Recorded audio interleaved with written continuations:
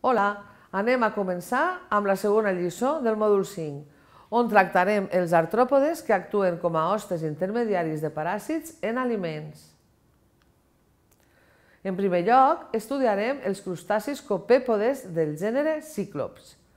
Aquests copèpodes crustacis microscòpics del gènere Cíclops, contaminants de l'aigua de beguda, i actuen com a hostes intermediaris de diverses espècies de cestodes i nematodes paràsits humans.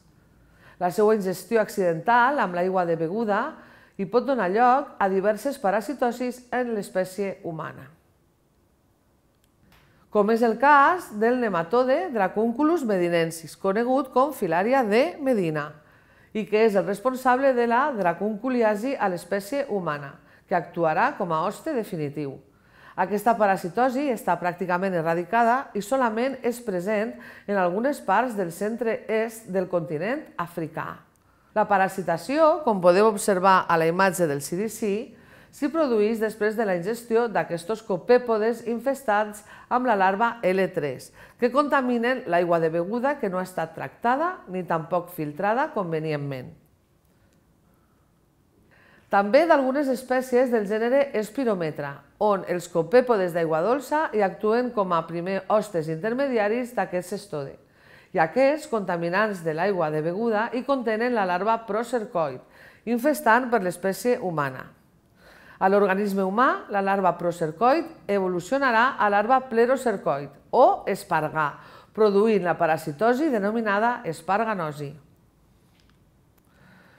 Podem veure el cicle biològic a la figura i en aquest cas l'espècie humana actua com a segon hoste intermediari. També algunes espècies del gènere Natostoma, els copèpodes d'aigua dolça actuen com a primers hostes intermediaris.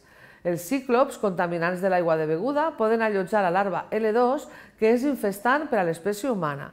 I a l'organisme humà, eh, humà perdó, aquesta larva, L2, evolucionarà a larva L3, produint la natostomiasi somàtica visceral. Podem visualitzar el complex cicle d'aquest gènere a la diapositiva, on també, en aquest cas, l'espècie humana actua com a segon hoste intermediari.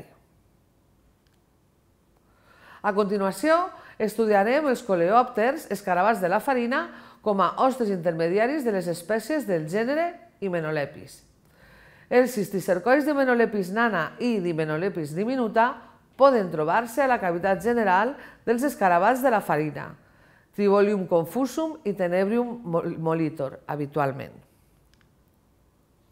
La presència d'aquests insectes infestats amb cisticercoids d'una mida entre 100 i 250 micres entre el gra dels cereals i la seva molta per a la fabricació de la farina poden dur com a conseqüència l'alliberament d'aquestes llarves de cestode a la farina.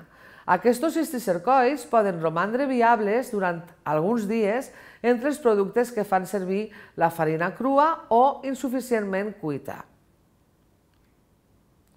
A la imatge del CDC podem observar el cicle biològic dieteroxè d'Hymenolepis diminuta, amb els coleòpters com hoste intermediari i l'ésser humà com a hoste definitiu. Cal destacar que existeixen escassos casos reportats en humans per Hymenolepis diminuta, però, en canvi, existeixen més de 75 milions de persones parasitades per Hymenolepis nana, aquesta diferència s'hi deu a la possibilitat realment molt més freqüent de la monoxènia secundària en Hymenolepis nana, com hem vist a les lliçons 1.3 i 2.5, i que no es dona en el cas de diminuta.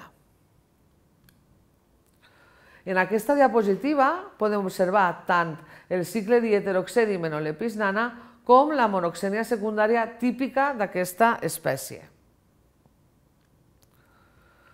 Per a finalitzar aquesta lliçó, anem a veure altres helmints reportats en humans per la ingesta accidental d'àcars i insectes contaminants, fonamentalment de vegetals. La ingesta accidental d'artròpodes contaminants dels aliments pot donar lloc a parasitosis humanes de freqüència ocasional. Entre ells hi cal mencionar alguns exemples. Entre els trematodes, l'espècie Dicrocoelium dendriticum, una espècie cosmopolita, hi ha formigues com a hoste intermediari. Diferents espècies de cestodes del gènere Railietina, Inermicapsifer o Bertiela, i les espècies més conegudes, totes cosmopolites, que són Dipilidium caninum, que té com a hoste intermediari pusses del gos i del gat, i Menolepis diminuta, amb coleòpters, lepidòpters o pusses com a hoste intermediari, i Hymenollepis nana amb els escarabats de la farina com a hoste intermediari, com acabem de veure. També algunes espècies de nematodes, com Gongylonema pulcrum, que també és cosmopolita, amb panderoles com hoste intermediari, entre altres. Hi ha cantocèfals, com per exemple Moniliformis moniliformis, també cosmopolita i amb panderoles com a hoste intermediari. Bé, les últimes diapes, com sempre, teniu referències bibliogràfiques i enllaços per a completar la lliçó, així com les referències de les figures utilitzades. Gràcies per la vostra atenció.